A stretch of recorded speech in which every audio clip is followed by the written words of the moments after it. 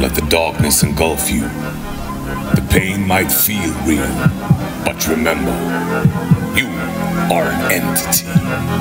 Serve your purpose, reach your goal, and conquer your foe.